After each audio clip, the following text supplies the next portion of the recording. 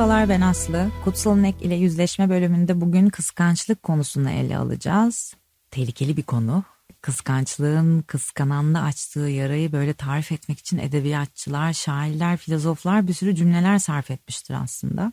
Hepimizin bildiği e, Muazzez Ersoy'un da ses verdiği dizeler. Faruk Nafız, Çamlıbel'in aklınıza gelsin. Sakın bir söz söyleme yüzüme bakma sakın. Sesini duyan olur sana göz koyan olur. Düşmanımdır seni kim bulursa cana yakın. Anam bile okşarsa benim bağrım kan olur demiş. Aslında kıskançlığa da güzel bir şekilde böyle bir giriş yapmış bu dizeler. Ama benim sevdiğim e, tam tersi olarak olan güzel cümlelerden, sözlerden biri Tolstoy'un. İnsanı alçaltan ve küçülten bir duygu olduğunu söyler kıskançlığın. E, bazen geçmişe baktığımda aslında düşünüyorum ben de neler yapmışım diyorum kendi kendime. Ya neden söylemişim bunları, neden böyle kıskanmışım? Çünkü sonra sonra işte hep insanın kendini bilmesinden hep bahsettiğimiz ve bilmeye başlamasından sonra gelen süreçte bunları anlamaya başlıyoruz. Elimde tutmaya çalışmışım sürekli aslında. Ve düşündüğümde diyorum ki hani bir kuş sıkılarak ne kadar avuçta tutulabilir? Yani bir kuşun doğasında olan aslında uçmaktır. Canı isterse gelir senin omzuna konar ve hiç kimse bir diğeri için hani doğmadığı gibi kimse bir diğerinin alın yazısı da değildir aslında. Kişinin kendine ettiğini edemez kişiye hiçbir fani. Bu kahpe hırsı ne kıskançlık kini ne şarap ne de haşhaş edemez. Kişinin kendine ettiğini tayfun boran dağ taş edemez demiş Mevlana. Aslında bu kıskançlıkla çok örtüşen bir durum. Çünkü ne yapıyorsak aslında kendimize yapmaya başlıyoruz bu duyguyla beraber. Hele hele gurur denilen olgu kıskançlık ile el ele verdiğinde kaçmak gerekiyor oralardan. Yani tahrip başlamış oluyor aslında. Ne kıskanan ne de kıskanılan e, iflah, iflah olmaz duruma geliyor bundan sonra. Halbuki bilgeler hep der ki sevgi de gurur olmaz. Bu sözün anlamını ise sanırım ya yaşayan ya da kendini anlamaya başlayan bilir. İnsan nefsinin en en en ateşli yakıtıdır aslında kıskançlık ve gurur. Her insanın o nefsinde bir doz barınır bundan. Hani genel geçen cümlelerden biri vardır seven kıskanır diye. İşte ufak bir doz kıskanmanın aslında gönül okşayacağı düşünülse de akla getirmediğimiz bir şey vardır. Kıskançlığın aslında freni yoktur. Bunu illa dışarı belli etmeye de gerek yok. Bu insanın içini de e, yiyebilir günden güne.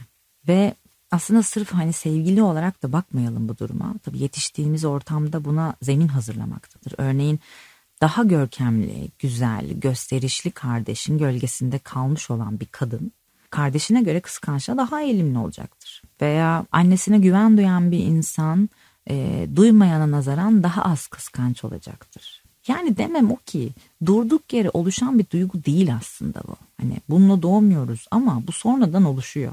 Ve zemini hazırlayan mutlaka bir şeyler olmuş oluyor arka planda. Sevilmeme duygusu da olabilir. Mesela benim en büyük korkularımdan bir tanesiydi bu sevilmemek. O yüzden e, bunu belki yaşayanlar da bilir. Her gittiğim yerden arkadaşlarıma, eşime, dostuma küçücük de olsa bir hediye almak isteği olurdu. Hani bakardım onlar bana aldı, aldı mı almadım diye ama konu bu değildi. Onlardan bir şey beklemezdim. Sürekli bir şeyler alırdım. Çünkü sonradan anladım. Sevilmemekten korkuyordum aslında. Bu da kıskançlığın çıkm çıkması için olan sebeplerden bir tanesi aslında. Belki de böyle bir kerecikte en sevilen olmak ama olmadığını gördüğünde işte o duygunun getirdiği her şeyi yaşamak ve kendini yıpratmak kıskançlık. Ama şu vardır e, her ne kadar kıskançlık duygusu sonradan öğrenilen veya öğrenilmeyen nasıl baktığınıza bağlı tohumları bizde olan bir olgu olsa da önce sevmeyi öğrenmek gerekir kıskanmayı bilmek için. İşte tam kilit nokta budur sevmenin ne olduğu. Çünkü sevmeyi bilmeyen kişi kıskançlık girdabında böyle boğulup gider. İnsan nefsinin de en ateşi duygularından biridir işte kıskançlık. Böyle duymuşsunuzdur hatta şöyle cümleler. Ben kıskancım arkadaş ya. Hani sevdiğimin bir başkasına canım demesine katlanamam o kadar. İşte bu cümleyi duyduğunuzda eyvahlar olsun. Yani bu cümleyi ben kurmadım mı? Çok kez kurdum. Ama işte hep söylüyorum ya hani kendini bilmek bilmek bilmek diye işte o zaman bunların yanlış olduğunu anlamaya başladım. Genelde yaşadığımız bu konu iki ilişkilerde olduğu için gündelik hayatta onun üzerinden konuşmak daha mantıklı olacak sanki. Genelde sahiplenmek, bağımlılık gibi kavramları aşk ile karıştırıyoruz biz. Tabii bu sahiplenme ve bağımlılıktan sonra içerisinde kıskançlık da geliyor doğal olarak. Ve bunların aslında sahte duygular olduğunu göremiyoruz. Belki de gerçek sevmenin işte ne olduğunu bilmediğimiz için Elimizdeki para sahte mi gerçek mi anlayamıyoruz da. Ama bilmiyoruz. Sahiplenmeyi kabul ettik mi ya da bunu kabul ettiğimiz zaman aslında gerçek sevmeyi de ıskalıyoruz. Nefret gibi değişik bu bağımlılık, sahiplenme duygusu. Yani nefret her zaman aşka dönüşebilir. E, nefretten aşk doğabilir. Ama sahiplenme hiçbir zaman aşka dönüşemez. Aşk ve sevgi gerçek olanı bir gerçek aslında olarak bir bütünleşmedir. Ve buna hazır olduğun anlamına gelir eğer aşk yaşıyorum diyorsan. Ve aşkın sonu ve dibi yoktur. Düşersin. Aşka düşmek denir buna aslında. Bu yüzden hani biliyorsunuzdur İngilizce'de de fall in love olarak anlatılır. Aşka düşmek, aşka çıkmak diye bir şey yoktur aslında. Yani sevgi ve aşk e, hayatı teleskoptan bakar. Kıskançlık ise mikroskoptan bakar. Aşık olmayı çok denedim. Hem de bir kez değil, iki kez, üç kez, dört kez belki. Şimdi şimdi anlıyorum gerçek hakikaten aşk olmadığını bunların. E, ve inanın ben de korkunç acılar çektim. Herkes gibi. Herkesin bir aşk yarası, bir e, içerideki bir kanayan yeri vardır muhakkak. Ve ruhumun derinliklerinde çektiğim acıyla alay eden bir ses işittiğim halde acı çekmeye de devam ettim. Üstelik deli dolu aşıkmışım gibi kıskançlık krizlerini de geçirdim. Ama sonraları anladım. Tecrübe ettikçe ve kendimi izledikçe, tanımaya başladıkça anladım. Sevgi ve aşk aslında teslimiyettir. Koşulsuz teslimiyet. Çünkü koşul koyduğunda sen önem kazanırsın. Halbuki aşk diğerini amaç haline getirmiş durumdadır. Eğer koşul koyuyorsan merkezde sen varsın demektir. Merkezde ben algısı vardır. Ben rahatsızım. Ben etek giymesini istemiyorum. Ben başka bir kadınla veya erkekle dışarı çıkmasını istemiyorum. Ben, ben, benle gider bütün cümleler. Seni senden başka hiçbir şey kandıramaz. O yüzden Genelde vay efendim o da bana bunu dedi kandırıldım. Hani beni çok sevecekti. İşte başka bir kızla çay içiyor şurada falan gibi şeyler e, söyleriz kendimize veya arkadaşımıza ve ayrılırız. Ondan da ayrılırsın. Diğerinden de ayrılırsın. Çünkü güvenemezsin. Karşındakini değiştirmek istersin ama bu ancak seninle başlar ve biter. Bu yüzden hep dediğim işte kendini bil olgusu önemlidir. Kendini bil ki sende neden bunları yaptığını görmeye başla. Ve eğer bunu bilmezsen, anlamaya çalışmazsan aslında hiçbir şey seni tatmin etmemeye başlar. Bu yüzden çoğu zaman gene söylüyorum kendimizi de bilmediğimiz için aşktan korkarız. İncinmekten korkarız. Halbuki aşk ölüm gibi bir şeydir aslında. Hatta ölümde en azından senin için en önemli olan ben yani beni sakladığın yer egon bile emniyettedir. Ama aşk o böyle değildir. Eller havada, gözün kapalı, teslim oldum demen gerekir. Kendini kaybetmen gerekir. Bu yüzden de aşka delilik ve körlük denir çoğu zaman. Ama ego hileler yapar sana. Diğerini öldürürsen de. Hani dedik ki hep ben ben ben algısı merkezde yer almaya başlar diye işte. Halbuki gerçek sevgi diğerine hayat verir. Diğerinin hayatını almaz, diğerini kıstırmaz. Kıskançlık diğerini öldürür. Hele ötekine bağımlılık hissi çoğu zaman müptela olan tarafta hayatta böyle ayrılamam duygusunu uyandırır. Ayrılmanın güçlüğü bağımlılık duygusu ile perçinlenir ve sonuç olarak aşk ilişkisi diye başladığın şey tamamen yerini bağımlılık hissine bırakır. Özgürlüğüne müdahale ettiğinde her şeyin hayatı monotonlaşır. Bilinmeyenin yani yaşamın önünü kesmeye başlarsın. Hayat silikleştikçe sen daha çok bağımlı hale gelirsin. Aşk yok oldukça. Bir şeyler böyle elinden gittikçe daha da delirmeye başlarsın. Daha çok duvarlar örersin kendine. Ve duvarlar ördükçe ışık azalmaya başlar içeride. İşte kendi hapishanen. Hayat söner. Bene yani ben olgusuna verilen mutlak değer ötekine verilen göreli değerle el ele gider aslında. Artık tabii kimilerine göre büyük tutkular devri kapandı gibi duruyor etrafta. Modern hayattaki bütün ilişkilere baktıkça bunu görüyor gibiyiz. Benim hala ümidim var. Ama birçok insana göre olan gerçeklik şu. Nefret ve kıskançlık mahkum edilerek yerine acı çekmenin panzehiri ve kendine hakim olmanın göstergesi olan ilgisizliğe bırakıyor. Yani kıskançlığı belli eden bir taraf var. Bir de artık hani nefret ve kıskançlığa mahkum olmayacağım deyip ilgisini çeken bir taraf var. Bu şekilde ilişkileri götürmeye çalışıyoruz. Mesela dikkat edin olması gerekeni söylüyorum. Arabalarına önem veren insanlara bakın. Ne kadar önemlidir değil mi? Her böyle 3-4 günde bir yıkatırlar arabalarını, silerler, böyle parlatırlar jantlarına kadar. Onların kendi arabalarına bakışlarına bir bak. Aşıktırlar arabalara. Zamanından verir, gücünden verir, yorgundur ama gene de yapar. Onu siler, onu parlatır. Usanmadan bunu yapar aslında. İşte aşk budur. Usanmadan yapmak. Birçok kişi sadık olmak veya kıskançlık, bağlanmak veya e, bağımlılık konularından dolayı ilişkilerinden uzaklaşmaya başlarlar. Ve bunu yaşayan insanlar çok da az değildir. Ve bu tarz insanlar aslında daha çok eşyalara aşık olmaya başlarlar. Hayvanlarına aşık olurlar. Hatta böyle hep duymuşsunuzdur derler ki işte bir daha erkek mi asla işte köpeğim daha sadık bana gibi. Bu o kadar acı bir durumdur ki aslında insanların bağlanmak, bağımlılık olgularından mı, aşk korkularından dolayı böyle şeylere yönelmesi. Tabii ki de onlar da olacak. Benim bir köpeğim, iki tane kedim var. O çok ayrı bir konu. Ama bir insanın kendinden gittiğini düşünürken böyle egon paramparça olmaya başlar. Bu yüzden de bunları hissedersin. Bu yüzden birbirini kıstırmaya veya birbirine duvar örmeye başlarsın. İşte o kuş gibi böyle sıkarsın, sıkarsın, sıkarsın ve sonunda öldürürsün karşıdakini.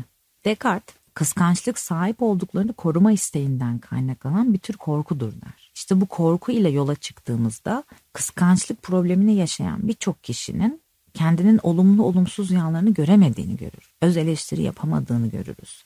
Özellikle kendiyle yüzleşme gerektiren, yüzleşmesi gereken soruları kendine sormadığını görürüz. Veya sorup cevaplardan depar atarak kaçtığını görebiliriz. Kıskançlık biraz da yarıştır aslında. Kıskançlık duygusunu yaşayan kişilere bir rekabet bekler hep. Ee, yarısı kaybedeceklerini düşünür. Kendilerini bu yüzden değersiz, önemsemeyen olarak, önemsenmeyen olarak görürler aynada. Sayılmayan, sevilmeyen bir insan.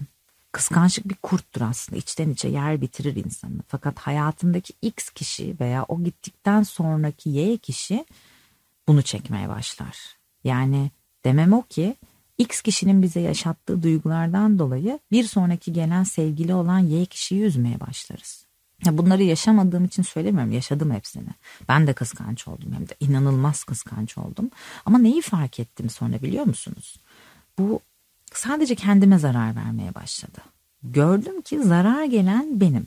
Demek ki benim problemim neydi? Ona biraz daha derinlemesine yaklaşmam gerekiyordu. Benimki sevilmemekti sanırım diye düşünüyorum belirttiğim gibi. Problemim sevilmeme veya daha az sevilme korkusuydu belki de. Hep bir yarış içinde olup ne olmam lazım onu bulamıyordum belki de. Ama işte sonradan kendimi anladıkça bunların da ne kadar yüzeysel olduğunu anlamaya başladım. Bilir misiniz? Kızılderililerde mesela kıskançlık kelimesinin karşılığı yoktur. Ve bir de hatta denir ki dünya üzerinde bilinen ilk cinayetin sebebi kıskançlıktır. Kıskançlık yüzünden kıskançlık krizine giren, kendi kardeşini öldüren Kabil ve Habil'in hikayesidir bu. Toe, kıskançlık denince her şey gözlerde biter der. Yani aslında birey olarak biz gözle görülecek bir şeyler yaratmaya çalışırız kıskançlığımızda. Bir ip, ipuçları bulmaya çalışırız. Bu kıskançlıkla olanı işitmek isteğiyle böyle işitmek, görmekle ilintili bir deliller aramaya başlarız. Aynı şekilde kıskanç bir insan olduğunuzu düşünüyorsanız mesela günlük hayatınıza bir göz atın. İnsanlar tarafından onaylanma ihtiyacını çok mu hissediyorsunuz? İnsanların dışarıdan sürekli beğeni ve olumlamalarını göstermesi için bir isteğiniz mi var? Ve bunlara bağımlı mı yaşıyorsunuz? Aynı şekilde bunlar ortadan kalktığında veya başkasına gösterilmeye başlandığında kıskançlık hissediyorsunuz. Genelde hep böyle oluyor. Bu gelen olumlamalar bizlere aslında geçici bir rahatlamadan başka bir şey sağlamıyor. Aksine bunlarsız olabilmeyi de öğrenmek gerekiyor. Ama bu e, olmazsa kıskançlık içinde kavrulursak kişi kendine de yabancılaşmaya başlıyor. Ayrı bir pencereden de bakarsak aslında yani aşktan bahsettik ya e, aslında olumlu olduğundan ama bir yandan da düşmek anlamına geldiğinden. İşte korkularla da burada devreye giriyor kıskançlık olgusu. Maalesef bazen bizlere karşımızdaki kişinin e, ki bu arkadaş da olabilir veya başkasına karşı herhangi bir şekilde ilgi alaka duymasını ne sebeple olursa olsun böyle yapının dengesinin bozulması gibi gör, görmeye başlıyoruz. Yani benim arkadaşım gidip de biz en yakın arkadaşken başka birisine ilgi duyup onu dışarı çağırmaya başladığında sanki yapıda bir sallantı olmaya başlıyor ve denge tamamen ortadan kaybolmaya başlıyor. Ve o kadar sinirleniyoruz ki gururumuza da bir tokat gibi böyle algılıyoruz bunu. Delirme hissiyatı geliyor. Tabii çoğu kıskançlık krizinin eşittir delirmek anlamına gelir. Bazılarımız ise bazen Bir şey demekten bile çekiniyoruz. Hani sırf kıskanç sanmasın beni. Aman o kadınlar gibi, o adamlar gibi değilim gibi. Ama böyle içinde o kadar fazla şey kemiriyor ki içten içe onu yiyen hastalığa dönüşüyor bu. Bu yüzden bu insanlar hem içine atanlar hem kıskançı dışarıya vuranlar hakikate değmeden geçiyorlar. Sırf bir şeyleri kaybetmemek için ağızlarını açmayanlar veya çok konuşanlar işte gerçek aşka sevgiye de dokunmadan geçiyorlar. İşte bazılarımızda da aslında bahsettiğim gibi geçmişten gelen durumlar yüzünden geçmişi bugünümüz yapmaya başlıyoruz. O yaptı, bu da yapacak. O da zaten böyleydi, kesin o da böyle olacak diyerek herkes aslında geçmişi yansıtmaya başlıyor bugünkü ilişkisine ve geçmişi yansıtarak yaklaşmaya başlıyoruz ve bu yüzden güya kıskanıyoruz. Aslında bu geçmişle bir hesaplaşma da olabiliyor. Bu yüzden geçmiş deneyimlerden ve genel geçer durumlardan hani gelen olguların düşüncelerimizi etkileyip bizlerde ön yargı oluşturmaması için kendimizi bir an önce tanımaya, geçmişi bırakmaya çalışmamız gerekiyor. Bir kıskanç olarak sadece kendimize aslında zarar veriyoruz. Çünkü kıskanç olan kişi tam tamına dört kere acı çekiyor. Kıskanç olduğu için, kıskançlıktan dolayı ve yaptıkları için kendini suçladığından dolayı, kıskançlığın ötekini incitmesinden korktuğu için çünkü bazı kıskançlıklar hakikaten e, gerçekten incitebiliyor ve kıskançlık gibi daha bayağı bir duyguya boyun eğdiğimiz için ve delirme eşiğine geldiğimiz için dört tane ayrı acı çekiyoruz aslında. Bunun her türlü boyutunu da yaşadım diyebilirim aslında sanırım. Aşırı kıskanıp telefonu bilgisayarı karıştıran da oldum veya gerçekten yanlış bir davranışa sırf e, elimden ilişkim gitmesin diye tepki vermediğim de oldu. Çünkü kıskanç olarak adlandırılmak istemedim. Ama sonra anladım ki ne birisi bana ait ne de ben sahiptim ya da ben ona e, hakimdim. Ya da ne de manipüle eden bir şey söylemediğim bir ilişkide bulunmak zorunda da değildim. Çünkü acabalarımızın dozu arttıkça özellikle ilişkilerde yani acaba yalan mı söyledi, acaba ben de mi aldatılıyorum gibi sorular başlayabiliyor. O yüzden diyorum ki geçmiş tecrübelerin etkisine aldanmayın. Karşındaki insan gitti biriyle konuştu görüştü diye senin değerin hiçbir şekilde düşmüyor aslında. Bir Kızılderili kabilesinde yaşlılardan biri kabilenin çocuklarına eğitim veriyordu. Ve onlara şöyle demiş. İçimde bir savaş var. Korkunç bir savaş. iki kurt arasında.